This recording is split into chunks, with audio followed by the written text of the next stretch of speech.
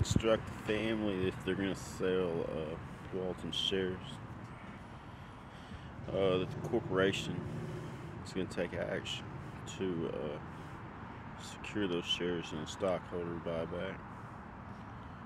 Uh, we're going to start acquiring that executive structure and their salaries need to be looked at. Uh, we're going to have to restructure uh, your organization. And uh,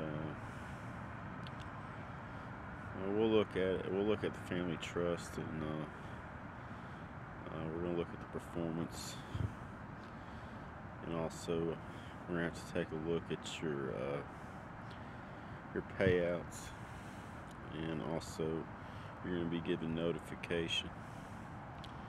Yeah, the fourth heir for Sam Walton. I think there's another, yeah, there's possibly more. And uh, way that goes.